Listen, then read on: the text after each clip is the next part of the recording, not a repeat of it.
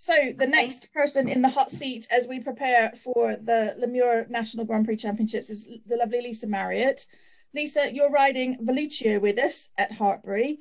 Um, you've just told me that you've been out today and you, little birdie sort of you had a win today in your in a Grand Prix for the practice.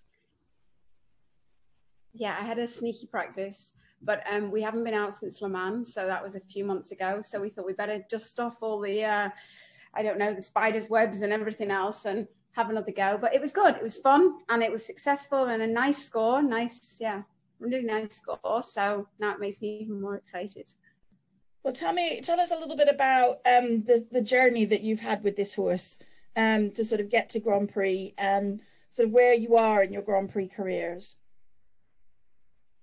Okay, so he, um, we bought him as a four-year-old, so I've had him all the way from the beginning. He has been probably the most uh, challenging horse I've ever had.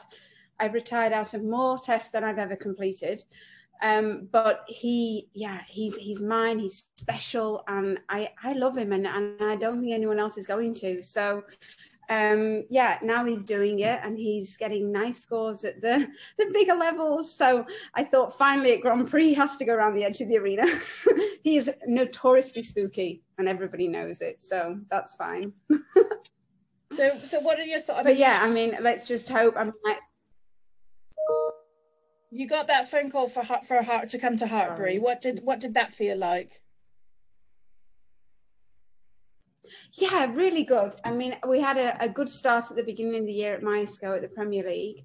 And I was really happy with him then. And then, of course, everything stops. Um, and we were busy practicing at home for, for quite some months. So yeah, it's uh, for me it's a highlight because I've never done uh, and I've never done a national championship at Grand Prix level before. So it's my first time. It's his first time. Yeah. So I mean, it's Christmas. It's yeah. After everybody having such a difficult year, it's just time to have some fun. I think for a few days. Excellent. Well, I think having spoken to, to most of the entries, there's quite a few of you sort of first doing your first Grand Prix championships in horses too. So I think it's going to be um, it's really exciting to have you all sort of having making your debut and like you say, just for us all to get together after it being such a sort of awkward awkward season really. So right, well let's get a little bit more into the mood for Hartpury and we'll have some fun with some Christmas quick fire questions just because of my age, okay. I need to put my glasses on. I've just given my sort of prove to everyone that I'm older than than I look clearly. Uh, right, the first question is mince pies, short crust or flaky pastry? Uh, short crust. Christmas tree lights, white or coloured? Uh, white. Oh yes, very white, very beautiful. uh, turkey, turkey meat, white or brown? Uh, all of it. All For of me. it. Yeah. Any? Be, both. Any or all. Be honest. Do you like giving gifts or receiving them better? Mm, honestly, mm, no, I do like giving, but I do like receiving too. It's both nice. I can't. Mm, 50 50. I'm going 50 50. All right. All right. We'll give you that one. right. You're at a, you're at a party. Husband decide mistletoe hung up, do you make a beeline or do you avoid it like the plague?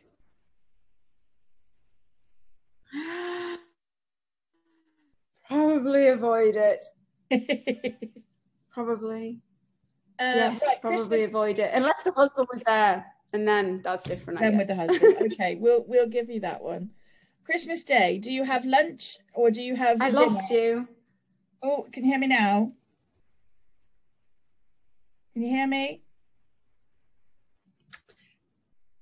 Uh, yeah, um, we have, yeah, normally three o'clock. So being in the north, I don't even know what you'd call that. So in between. But it's uh, normally two, three o'clock. Okay. Okay. Still there? We lost yeah. you. I can hear you okay. You hear me all right, Lisa? Cool. Uh, next question. Yes, it's just the reception, I think. Uh, next question. Do you muck out on Christmas Day? Hello. Oh, hello. I do 4.30 in the morning. I'm there. I do the whole yard. Everything goes out. Be there. Everything Yep. goes out in the morning. I muck out from 4.30 in the morning and yeah, I enjoy it on Christmas Day. Then I'm ready for my lunch.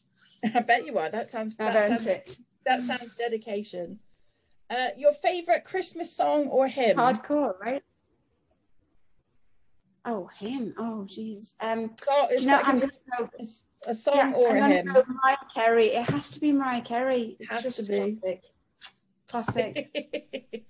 uh, where did we get to? Br- Christmas pudding, brandy sauce or rum butter? I don't like it. That's all right. I don't like it either. Sticky toffee Uh, pudding when you're talking, but no. okay. Well, it's uh, in the Marriott household. It's clearly sticky toffee pudding. We'll It take is. that. It is. Uh, Christmas movies: Elf or Miracle on Thirty Fourth Street.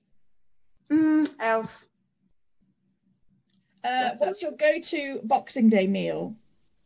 Um, Boxing Day meal. I think it's gonna be um Ferrero Rocher. Lots Fair of them. enough. Complete the sentence. It wouldn't be Christmas without. uh, bubbles. Good answer. Is it acceptable to eat Quality Street for breakfast in December? Absolutely, all year round, it's acceptable. Uh, and on the subject of chocolate, heroes or celebrations? Uh, it's gonna be. Um, now let me think which one's which. Celebrations. And what have you asked Santa for this year? A day off. You're not the first one to say that. no. Um, what did I ask Santa for this year? Um, I haven't really. That's disappointing. I have, get a, that I, have a, I have a partner who's very, very generous with gifts, so I've never needed to ask for anything. So I'm kind of lucky in that respect. Okay. Uh, the Queen's speech: essential viewing or time for a snooze? Mm, used to be essential. Mm, horses have kind of took over now. Okay, so doing horses.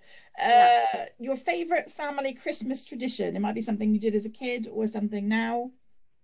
Um, our favorite tradition would be that we all have to write down one thing we want to achieve in the following year. And we write it, everybody writes it down, and then we bring it out the next year and see whether anybody made it. And Christmas shopping, are you the sort of person that's all done and dusted by December the 1st or a little bit of a Christmas Eve panicker? um, mm, I'm a little bit of a panicker. Time again, time again. but I always make it. I do always make it, though. All the gifts are already always in place. It's always made in the end. And the final question it sort of relates to your tradition really. Will you be making any New Year's resolutions and what are the chances of you sticking to them? Um, New Year's resolution would probably be my little boy's coming in now. It's quite cute. Um, it's all right. You can call me on. We're nearly finished. Um, he's coming. Sorry. Blakey, Okay. come on then. Are we shutting the door? He has to shut the door. Here we go. Blakey, come. He's autistic, you see. So come, That's come, fine. come see. Who's this? Hello. Say hi. Dog. hug. Doug. Hi. Hello.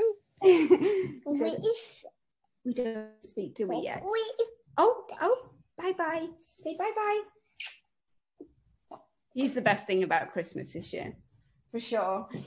We have lots of nice presents for him. I bet I bet have on Christmas Day. It's magical with him. It's gonna be. And right, what was the last question again? What was the last remember. one? Sorry, we got distracted. What will what will you be making any New Year's resolutions and what's the chance of you keeping them?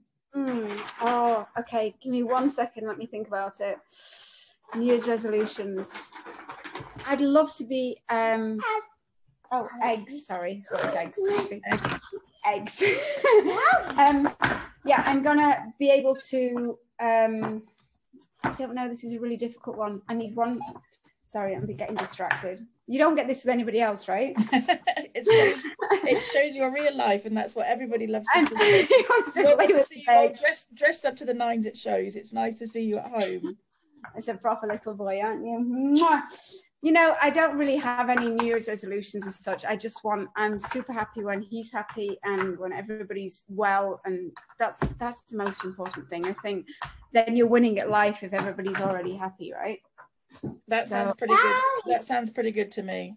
Yeah, that's gonna be yeah, just a a, a successful, happy, healthy year, and that's uh, that's super cool. Possibly, maybe he'd let us cut his hair. That would be that would be great because so far he's nearly four years old, and yeah, he won't let us cut it. Will he? No, so he's growing very long. well, Lisa, that's brilliant. It's lovely to meet you all. Um, and we really do look forward to seeing you at Hartpury. I think sort of a lot of people will be interested to, to follow your progress, um, especially having seen a little bit into your life. Um, so we wish you the best of luck and oh, just a few days to go now until we get there. So see you soon. I'm so excited. Thank you so much. You're so welcome. Thank you. Thank see you, you. soon. Like you say bye-bye. Bye.